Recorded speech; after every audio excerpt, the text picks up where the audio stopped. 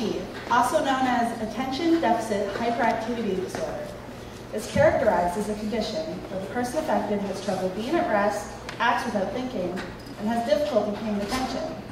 I can vouch for all of these symptoms, as I myself have been diagnosed with ADHD. Hello, I'm Sarah Duckett, and today I'm hoping to spread the right kind of information about ADHD. The symptoms of ADHD are caused by the brain constantly seeking stimulus, thought to be caused by lack of dopamine in the brain. What does it feel like to have ADHD? I can't speak for everyone who has the disorder, and the symptoms do display differently in everyone, especially across sexes. But for me, I've always described it as being without blinders. When you're focused, your goal is in front of you, like you're wearing blinders or inside a tunnel.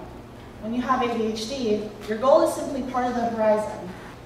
You can see everything around you, especially when you'd rather not. This can sometimes be useful because it lets you take in information you usually miss. But mainly, you just want to focus on your goal and can't because of everything else happening.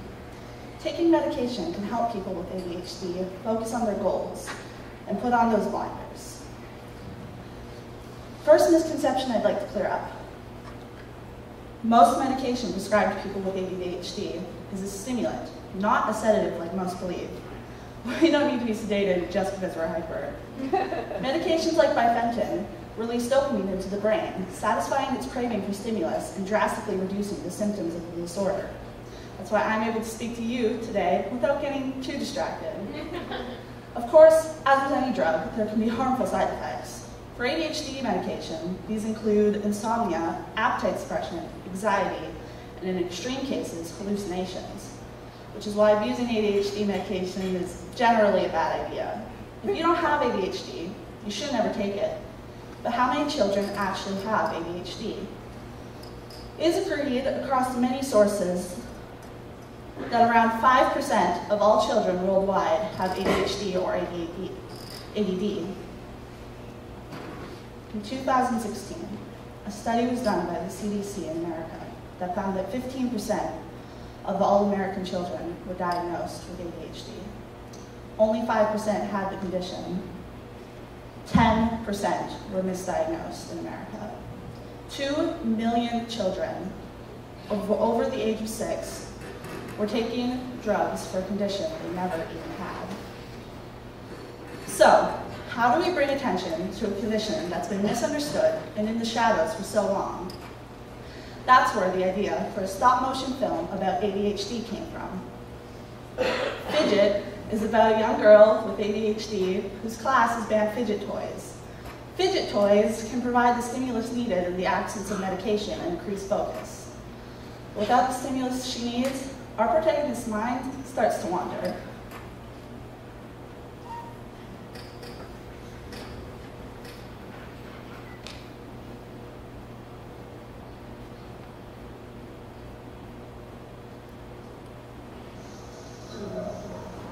questions, please.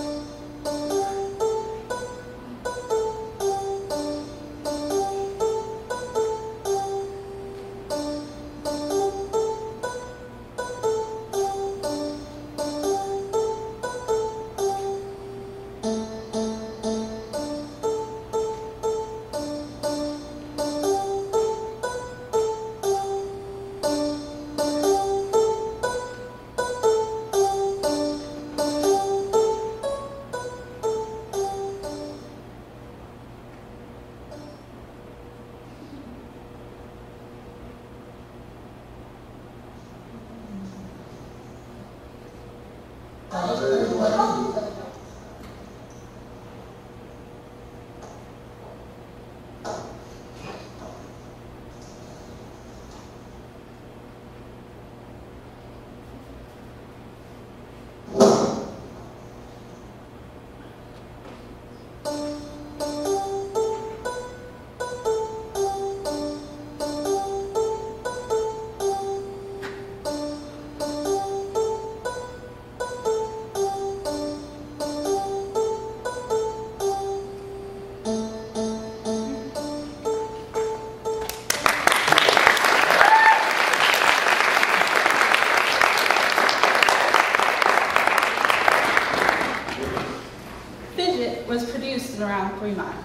It required concept art to decide which variety of fidget toys to use.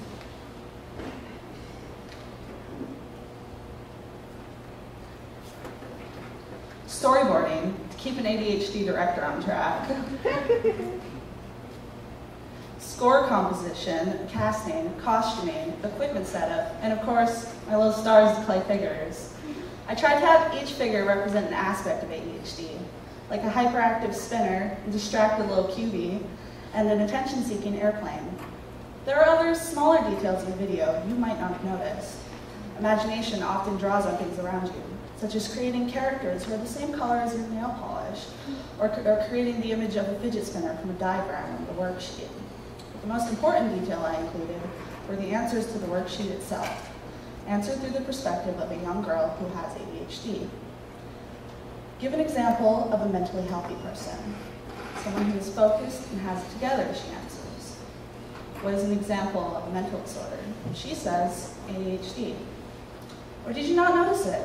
Were you too distracted to notice it? You might be thinking, there was so much going on. How was I supposed to pay attention to a worksheet? That is exactly what it feels like having ADHD. so what I'd like you all to take away from today is that we need to uh, recognize and prevent the misdiagnosis of ADHD and ensure that we stop misinformation and put ADHD awareness in motion. Thank you.